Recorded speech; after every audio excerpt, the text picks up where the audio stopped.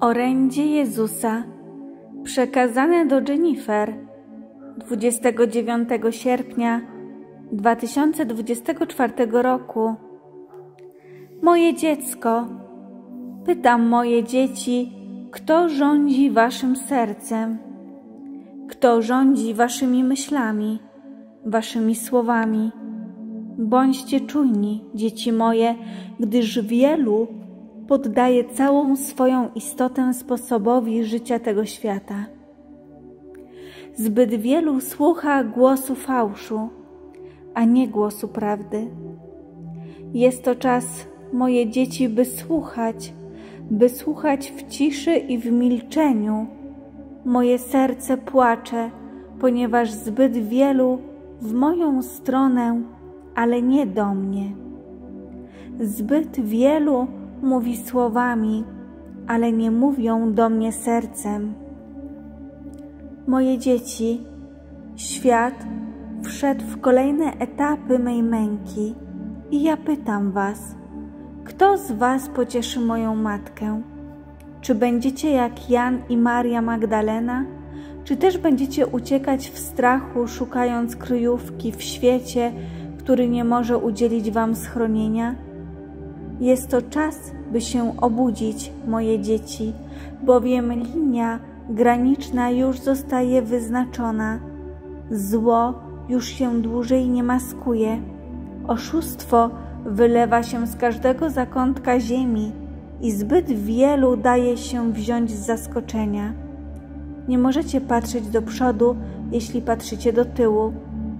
Trwajcie skupieni na mnie. Trwajcie skupieni na moim krzyżu. Rzućcie się na twarz przede mną i poprzez adorację wyjdziecie do schronienia mego najświętszego serca. Dzięki przyjmowaniu mnie w Eucharystii, wasze dusze będą przekazywać moje światło tym, którzy zgubili drogę. To dzięki temu światłu ich oczy zostaną otworzone przez wasze świadczenie i przykład.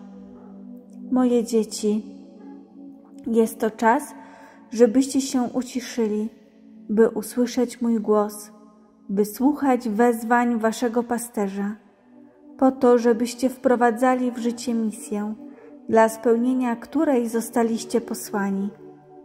W ciszy i milczeniu zaczniecie rozpoznawać głos prawdy, mówiąc do waszego serca.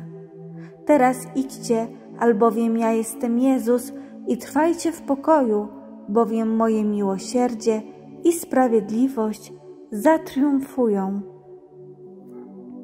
Komentarz. Jezus wzywa nas, żebyśmy w ciszy i milczeniu, tak zewnętrznym, jak i wewnętrznym, trwali przed Nim na adoracji, pozwalając, by to On sam działał, przyciągając nas coraz bardziej do siebie i wprowadzając nas w głębię swego serca, gdzie nasyci nas swoją miłością, której świat nigdy nam nie zastąpi. Nie szukajmy schronienia w świecie, jego sprawach, przyjemnościach, czy nawet sukcesach i miłościach, ale w tej jednej, jedynej miłości, zdolnej naprawdę w pełni nas zaspokoić i ugasić nasze pragnienie. Wtedy będziemy naczyniami noszącymi w sobie światło Chrystusa, czyli Ducha Świętego, który będzie nam, a poprzez nas, ludziom wokół, dawał poznanie i miłość naszego Zbawiciela. Własnymi siłami nie ocalimy ani siebie, ani tych, których kochamy, ani tym bardziej nie spełnimy misji, jaką Bóg nam na tym świecie wyznaczył.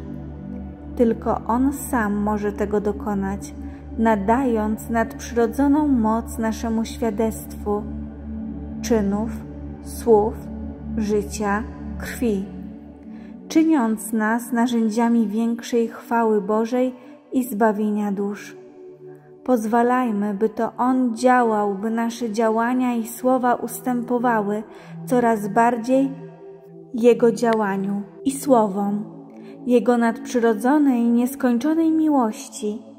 Dzięki temu w rozpoczynającym się czasie męki i wielkiego oczyszczenia ludzkości będziemy jakby Jego narzędziami, poprzez które doprowadzi On do zbawienia wielu dusz, zaczynając od naszej własnej. Nieodzowna jest w tym pomoc Maryi, która najgłębiej wsłuchała się w milczące słowo Syna Bożego i która płacze i boleje z powodu naszego grzechu.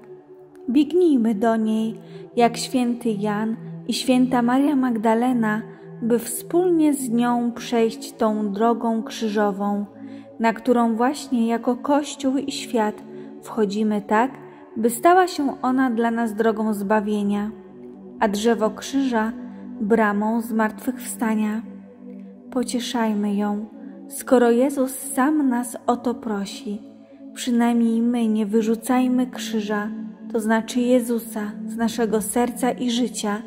Przynajmniej my pocieszajmy jej niepokalane serce, rozdzierane naszą obojętnością, a nawet nienawiścią do Zbawiciela, jej umiłowanego Syna, którego największą zbrodnią jest ta, że wezwał nas do porzucenia wygodnego koryta wieprzów, tej niewoli własnego ja, własnego chcę i własnej porządliwości i dostania się wspólnie z Nim uczestnikami boskiej natury poprzez drogę oczyszczenia i uświęcenia, czyli codziennego brania swojego krzyża i naśladowania go.